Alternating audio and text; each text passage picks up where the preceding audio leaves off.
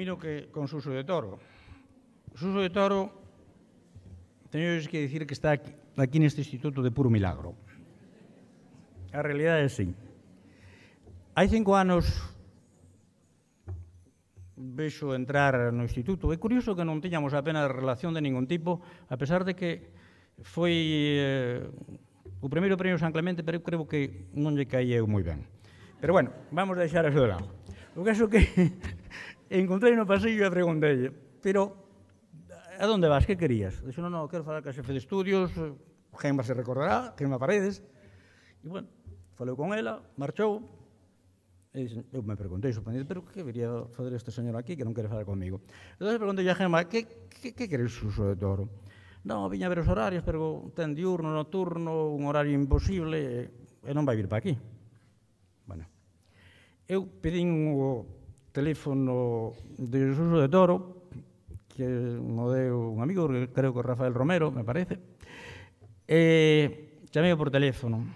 E dixenlle, Suso, tú reintegraste agora a enseñanza? Pues, sabes que todos que Suso estaba en excedencia, era escritor, estaba en Madrid. E dixen, sí, sí, me reintegro. Pero, de verdad queres ser profesor? E dixo, sí, sí, de verdad. Pois, pues, se queres ser profesor, se queres traballar con un alumnado ilusionado e ambicioso, e facer un bon traballo, isto é o teu instituto. E así foi como conseguín convencer a Suso de Toro para que se convertira en profesor de Rosalía de Castro. Digo profesor de Rosalía de Castro porque eu creo que hoxe podemos definir. Leva cinco anos aquí e a min pareceme que leva 30. Comigo tuvo sempre un espírito, mm, un apoio crítico, pero con moitísimo cariño. Eu agradezcolle moitísimo, Benos Abel, ese acompañamento. Oxe, ao final deste ato, tamén temos unha sorpresa para él. Hai un libro que Polaroid que eu lín por azar últimamente que non ten que perdonar Suso, pero non, non o lera. E ten, é un libro que ten 30 anos, non, Suso? Sí. Bueno, pareceume tan actual, tan libre, que dixen, bueno, algunha mensaxe lle temos que deixar aos nosos alumnos. Os alumnos de primeiro de bacharelato que van a recibir o premio de excelencia e os alumnos eh, de bacharelato internacional van a recibir un exemplar desta obra que é unha donación da librería Galaecia. Eu creo que isto valles axudar a ser máis libres na vida. Nada máis. Benvidos todos, moitas gracias.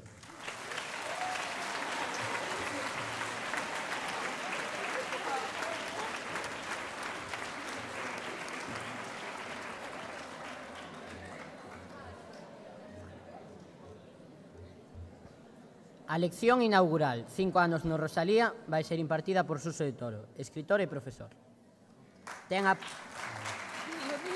ten a palabra Suso de Toro.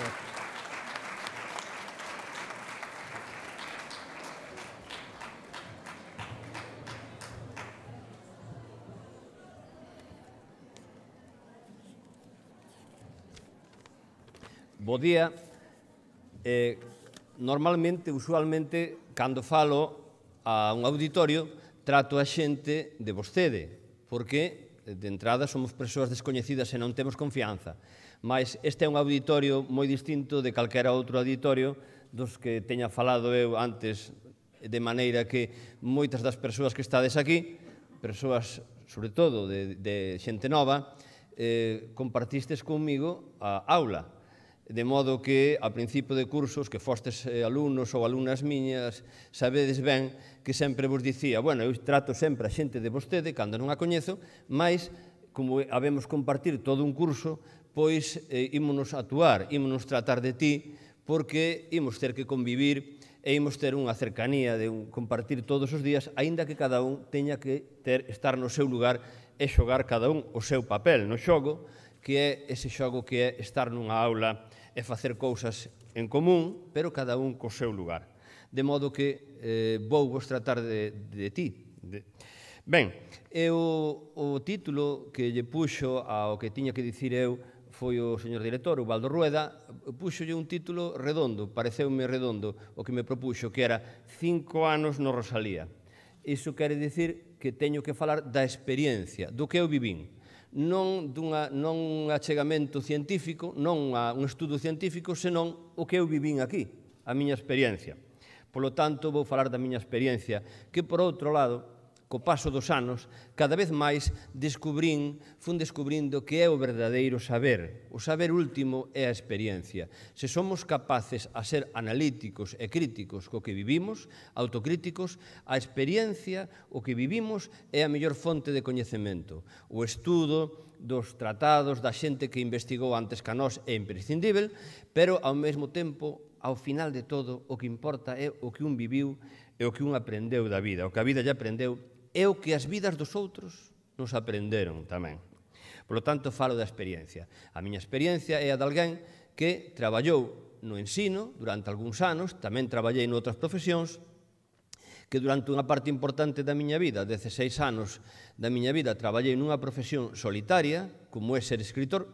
Ser escritor consiste en que unha persoa encérrase nun lugar, nunha, nunha habitación, nun cuarto, e sepárase do resto das ansias do mundo e durante ese tempo que fai é convive e vive nun mundo que crea na súa imaginación. Ten que, ten que ir desplazar a súa mente a un lugar que vai creando. Iso é ser escritor. Encerrarse cunha, cun mundo de imaginación que un crea. Polo tanto, é unha profesión solitaria.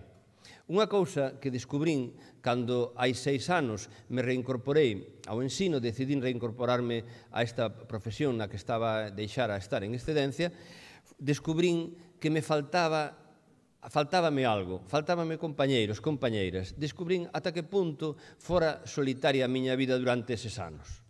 É unha primeira cousa que descubrín eh, volvendo a ser profesor é que volvín a disfrutar de ter compañeiros e de ter compañeiras que ademais para min foi moi fácil eh, transformalos a case todos en amigos. Eh, considero que a amizade é outra cousa que me aprendeu a vida, as, a, os amigos, as amigas, son un acompañamento fundamental na vida, valiosísimo. A min sempre me valeron, intentei ser sempre amigo dos meus amigos e sempre obtiven recompensa. Outra cousa que chega un momento en que cando un, chega un momento da vida en que vive un tanto e fai tantos amigos que xa non pode atendelos a todos, xa non pode ser bo amigo de tantos amigos. Pero a amizade é algo fundamental.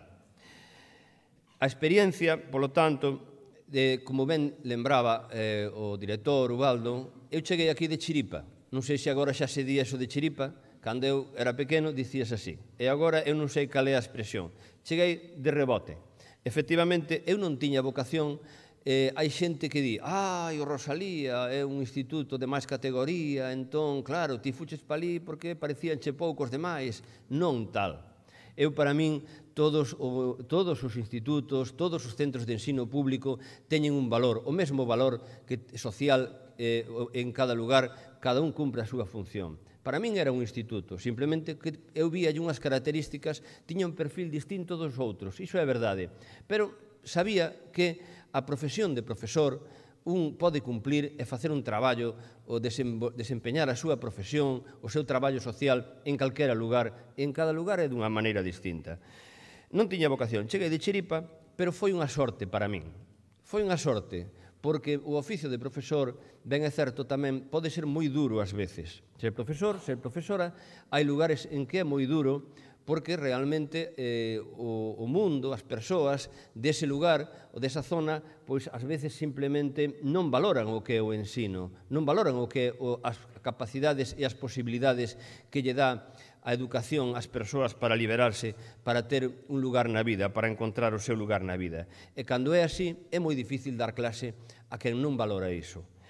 Aquí, afortunadamente, permitiume sentirme parte do profesorado dun modo moi cómodo, sentirme moi cómodo, para min sempre foi moi fácil chegar a entrar nesa aula de profesores tan decimonónica, tan antigua, tan arcaica, chegar, saudar e encontrar sempre con alguén, sempre con alguén que che, que che daba, que che devolvía o saúdo, ou que che facía unha broma, ou que che poñía un sorriso.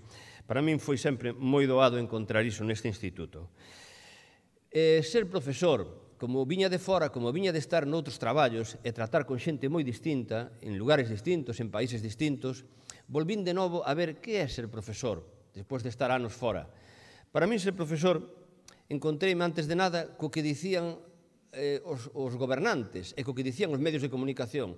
Os profesores, a educación é moi importante. Os profesores e as profesoras, os mestres son a cousa máis importante da sociedade. Eso dicían. Sin embargo, eu sempre vin e volvino a ver outra vez que non era certo que o falar non ten cancelas, como dicía a miña boa, pero non é certo, unha cousa é o que se di e outra cousa é o que se practica. Eu vin que a sociedade de novo seguía sendo como sempre e que deixa eh, eh, descansa, descansa nos profesores, nos ensinantes. Ante cada problema social que ocorre, hai drogas, hai violencia juvenil, hai non sei canto, hai problemas eh, alimentarios ou psicolóxicos, pois fagamos unha asignatura máis, metemos unha asignatura máis e solucionámoslo, que se encarguen os profesores. E isto ímoslo resolver, pois o ano que ven facemos e metemos nos institutos que se dediquen a facer isto outro para o alumnado. Eh, eu a meu modo de ver o que fai a sociedade é unha sociedade moi inmadura a nosa, moi infantil e o que fai é abdicar das súas responsabilidades, é dicir, descansar ou, como diríamos de outra maneira, afeitar para arriba e mirar para outro lado. É dicir, que se encarguen os profesores, que esa é unha maneira de decir eu non me vou encargar e ao final é un modo de non afrontar os problemas. E, en consecuencia, os gobernos non todos, afortunadamente, porque non é certo que todos os gobernos sexan iguais, nin que, nin que tampouco non é certo que os problemas non teñan solución. Os problemas teñen solucións, solucións concretas, que para iso está a política. E se non é unha política, pois buscar outra política. Pero os gobernos, en xeral, nos últimos tempos particularmente, non actuaron en consecuencia e, desde logo, a, o ensino público, que é o ensino que nos fai a todos, que nos dá a posibilidade de ser iguais, cidadáns iguais, con posibilidades iguais de ser libres, o ensino público foi abandonado, está sendo lesionado. Recortes en educación e incluso recortes en I máis D, en investigación, en desenvolvemento de investigación. Isto é, a prova o papel de tornasol non sei se nos departamentos de química se usa xa o papel de tornasol, pero antes dicíase o papel de tornasol que era o que dicía se unha sustancia química era isto ou o contrario, se era ou non era. Pois a, a educación, os investimentos, o diñeiro que se mete en política educativa, no ensino público en concreto, é máis en e máis de en investigación, é a prova de tornasol de que un país quere verdadeiramente ter futuro ou non. O que pensa vivir do aire, o que pensa vivir de rentas. Un país que quere ter futuro ten que traballar nese intangible, é unha cousa que non se ve, pero que é imprescindible que é este alumnado, esta, esta xente que empeza este ano e esta xente que nos deu estes premios, estes logros do seu traballo. Iso é o único futuro que ten un país. Non vale de nada, como nos ocorre aos galegos, termos un país rico, se logo a nosa riqueza non a podemos traballar, non a sabemos desenvolver, ou se non la levan daqui, se non la quitan. Non vale de nada ter unha riqueza se non a sabes administrar, se non a sabes facer que sexa productiva. Polo tanto, non é certo que os problemas non teñen solución. Hai solucións, hai nos que buscar. En, en España, dice moitas veces eso de que pasó, pasa máis fame que un mestre de escola. Dicíase, hoxe non, é certo.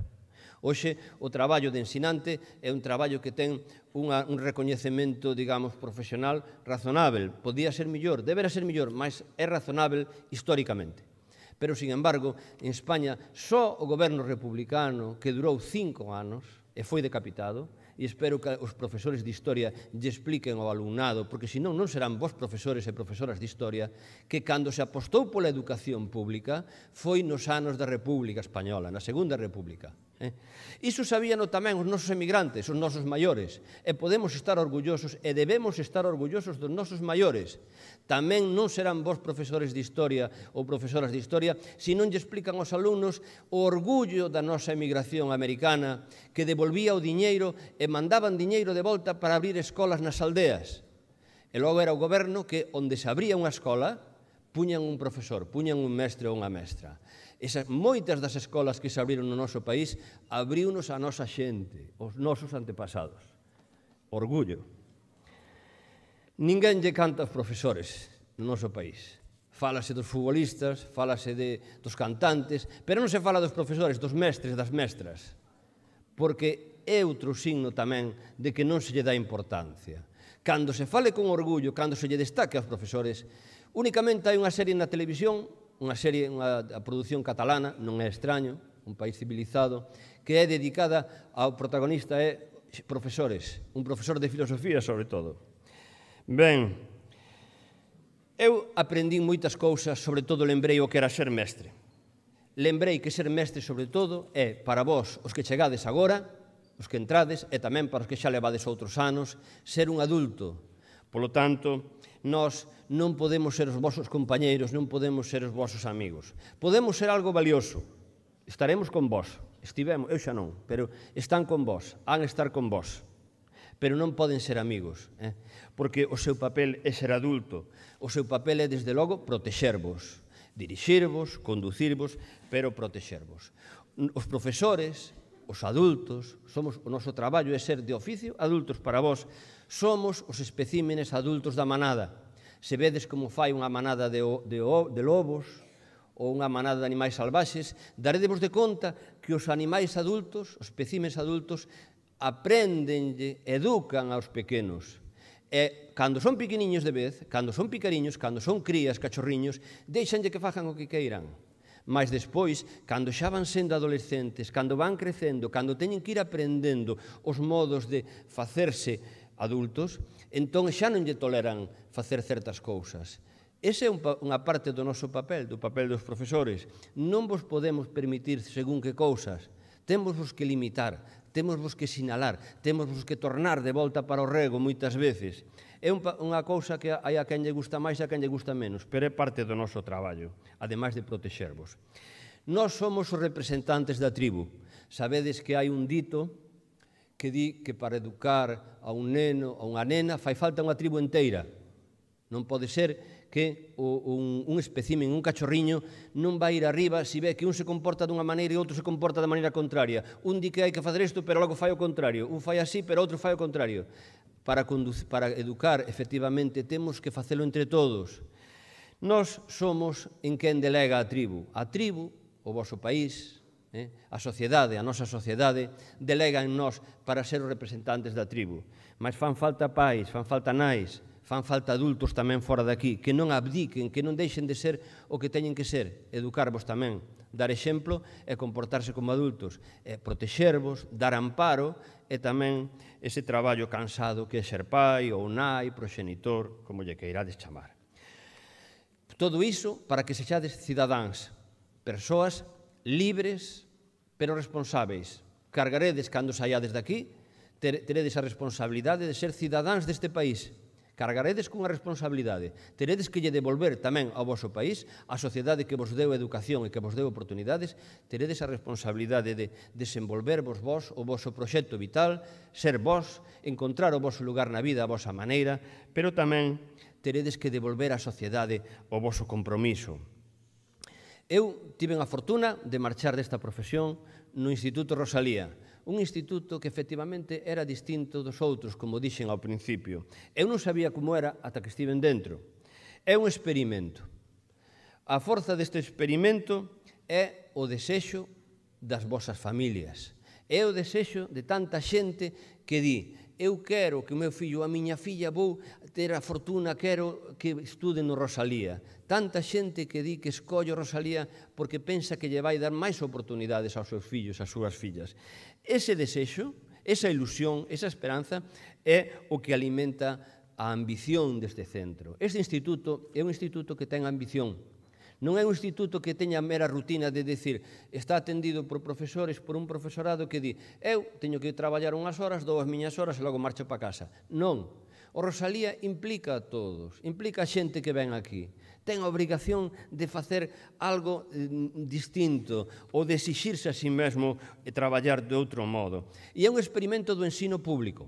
O ensino privado é lexítimo e é parte das opcións que teñen as persoas que teñen medios. As persoas que teñen medios económicos teñen a opción de enviar aos seus fillos, as súas fillas, a centros privados ou públicos. Eu teño que agradecer, agradezo como cidadán, e tamén como profesor, eh, a todos que a todas as familias que envían aquí aos seus fillos e as súas fillas, máis dun modo particular tamén aquelas familias que puidendo ter, porque tiñan medios económicos, enviar os seus fillos a un colexo privado ou enviaron a un instituto público, porque esas persoas están lle dando algo e compartindo algo do que teñen aos demais. Esas persoas están sendo particularmente solidarias e eu quero yo agradecer. Este, este instituto é un instituto que ten Miren o que teñen aquí, aquí hai un dibuxo que moitos non coñecerán, pero é un dibuxo dos Fonseca.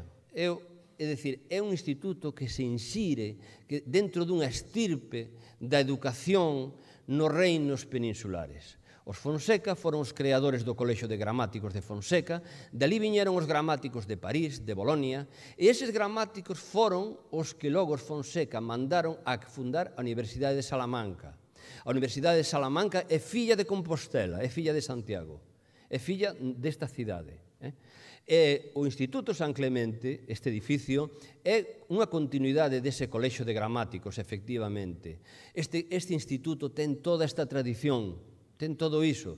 Neste instituto eu tiven o orgullo de impartir aulas onde impartiu aulas don Aquilino Iglesia Albariño, probablemente o millor poeta en lingua galega desde Rosalía de Castro. Un orgullo para min máis tamén outras figuras que non vou sinalar a todas, profesores como Ricardo Carballo Calero, don Antonio Fraguas, pero tamén a tamén Fontán. Fontán, o creador do grande mapa científico, o primeiro mapa eh, feito con medición científica en toda a Península Ibérica, que fixo o mapa en onde está agora a Finsa, comezou a facelo aí na parroquia de Formariz, e despois continuou no por toda Galicia e fixo o primeiro mapa con medición científica que se fixo en todos os reinos peninsulares. O mapa do reino da Galiza, o mapa de Fontán, o primeiro mapa científico. Aquel home que fixo trazado das comunicacións do futuro ferrocarril que entraría no reino e das comunicacións por terra. Aquel home que foi un empresario emprendedor que abriu papeleiras, que abriu outras empresas de transformación dos nosos recursos. Un orgullo, un orgullo dar aulas polos corredores por onde tamén pisou Domingo Fontán. Eh, o que me encontrei neste instituto tamén foi un estilo familiar. Sentíme moi a gusto, entraba pola porta e saudaba aos primeiros compañeros que me encontraba na portería, os vedeles, Eles e elas son as persoas que nos reciben cada día, as persoas que abren o centro, persoas eficientes, amables, cada unha a súa maneira e eficaces. Un orgullo ter entrar polo, polo, pola porta e ter compañeiros e compañeiras así. Para min foi un orgullo. Encontrábame cos compañeiros e as compañeras na sala de profesores. Unha, para min, unha alegría era, era reencontrarme con compañeiros. Encontrábame coas as compañeiras que traballan na limpeza polos corredores e era como se si foran veciñas, hola, hola, un día e outro as mesmas persoas. Eran esas persoas. E entraba na secretaría, que era o lugar máis luminoso do, do instituto, non sei por qué, e ali hasta tiñan unha cafeteira, había risos, había sorrisos, maravilla. Este instituto, humanamente, para min foi unha maravilla. É un instituto que ten o poder da tradición, o poder da historia, e iso é moito poder, Iso dá un grande orgullo, debe dalo, mas tamén efectivamente ten por diante eh, a transformación que ten que dar o ensino público, a revolución digital. Se non o fai, ficará obsoleto. É dicir, esa é unha tarefa que lle queda aos compañeros e ás compañeiras que, que teñen por diante. Non hai máis remedio que a entrar como se poida, ensaiar maneiras de entrar na educación audiovisual, dun modo activo, facer activos aos nosos alumnos, manexar a expresión, a linguaxe e os recursos, sen iso eh, o noso instituto non permanecerá eh, adecuado aos tempos, teno que facer. E tamén temos que ser capaces de crear aos novos alumnos do noso tempo que teñen que ser capaces de crear empresas, de facerse autosuficientes ou de ser traballadores eficaces, de ter iniciativa. Temos que facer un, un tipo de xente, un tipo de cidadáns que como persoas, como traballadores, sean persoas con iniciativa, que sexan capaces de pensar conceptualmente, pensar teóricamente e tamén dicir e como vou ser eu viable na vida? Como vou eu facer viable o meu proxecto vital? E que forma profesional lle vou dar eu? De que vou vivir eu?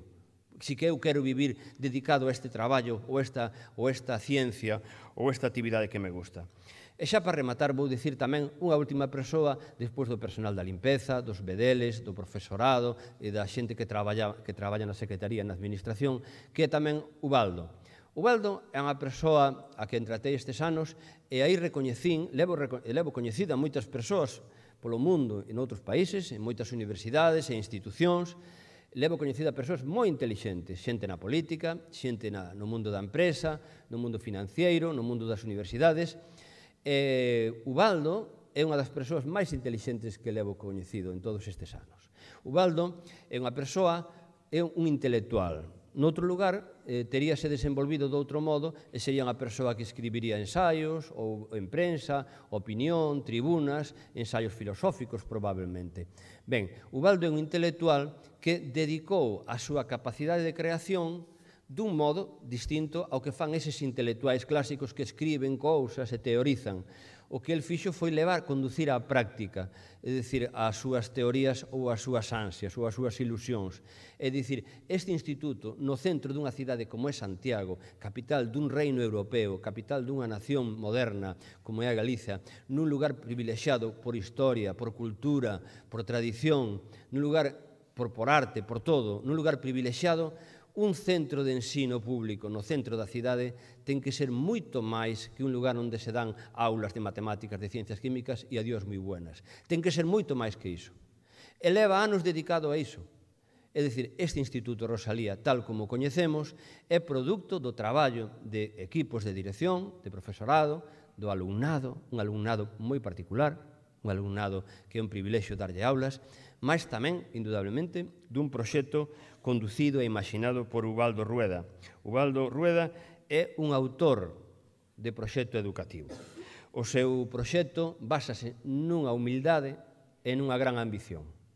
A ambición é facer este instituto que ten un premio de ciencias apadriñado por Stephen Hopkins, que Stephen Hawking lle dá o seu nome co que eso ten de responsabilidade, porque ao cabo unha persoa, ao final, desde o punto de vista social, non ten nada de máis valor que o seu propio nome, do que ten que responder, Stephen Hawking dalle un premio, a, o seu nome, a un premio educativo que crea este instituto. Ou premios por onde, literarios e de ciencia por onde teñen pasado premios Nobeles. Premios Nobeles e sin ser premios Nobeles. É dicir, escritores de talla internacional, de obra internacional de mérito internacional. Veñen aquí cada ano, peregrinan aquí cada ano. E aquí cada ano escoitan aos alumnos e alumnas deste instituto que lles fala ademais na lingua do país.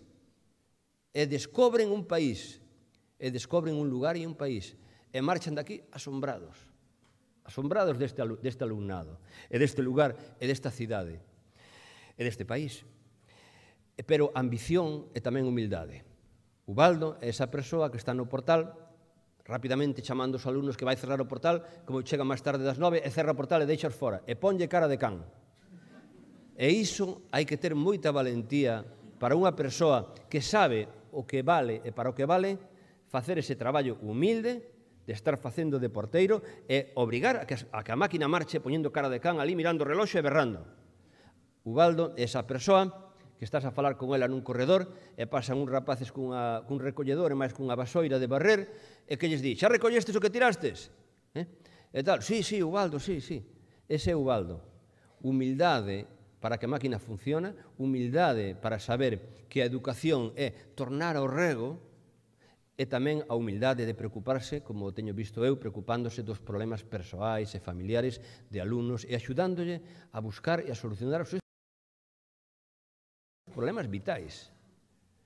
Iso é o baldo, todo iso. Nada máis, eu aos, aos mociños e as mociñas que estades aquí, lembrades só unha cousa. Eh, o que vos fala e os que, vos, os que vos van dar as aulas de cada asignatura tiveron tamén os vosos anos. Tamén tiveron 12, 13, 14, 15, 16, 17, 18 anos. E chegaron a ter os anos que teñen. É dicir, non hai nada na vida que non teña solución, non sendo que vos caia un raio na cabeza. De cando en vez, cae un raio, unha chispa e mata unha persoa. Pero acontecen moi poucas cousas, moi poucas veces. O resto, os problemas que teñades, que vos sintades eh, sobrepasados por eles, non facer caso. Facer o, facer o caso xusto. Si, hai no que afrontar, teño un problema cunha asignatura, cun profesor, na miña familia, na miña vida, cun compañeiro, cunha compañeira, o que sexa. Ás veces disgústanos, eh, bótanos abaixo, pero que non nos bote tan abaixo, eh, que non nos deamos conta de que a veces chegar, se non hai novedades, se non nos cae unha chispa na cabeza, a ter os meus anos e a ter os anos de outras persoas máis bellas que a min. A vida é así. A veces atravesar, estades atravesando uns anos difíciles, uns anos duros, delicados, eh? As veces teredes ganas de chorar, pois chorade, que ya ven facer. É dicir, todos temos momentos duros, eh, que, que tal, pois para iso é, eh? Pois, eh, pero logo, eh, pasou e pasou e veña, eh, e ala, e mañán xa será outro día. E é certo, mañán a ser outro día. Créedeme. Habedes a ir adiante. E tende en conta unha cousa. Os profesores tamén en situacións de, de, de importantes, de desamparo ou iso, pensade que son adultos que tamén teñen o deber, deberan ter o deber de comprendervos e de botarvos unha man se vos ven desesperados, se vos ven desesperadas. Eh? Sempre haberá un profesor ou unha profesora que vos sabedes que vos vai entender mellor ao que lle podedes falar. Para iso estamos os profesores. Cando nos pagan a nómina non nos din que é para iso, pero se os profesores sabemos cal é o noso oficio, sabemos que o noso oficio tamén é axudarvos e ser para vos un lugar, se é necesario, de acollida. Entón, nada máis, nunca estaredes sós, non estades sós, non habedes estar nestes anos no instituto. Eu estou moi orgulloso de marchar daqui tendo sido profesor voso, dos que fostes alumnos e alumnas miñas, retírome da profesión como profesor deste instituto e para que vexades que é certo vou por a sudadeira do equipo de baloncesto do Rosalía.